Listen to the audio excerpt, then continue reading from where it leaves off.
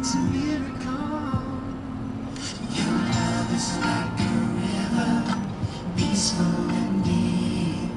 Your soul is like a secret that never could keep. When I look into your eyes, I know that it's true. God must have spent a little more time.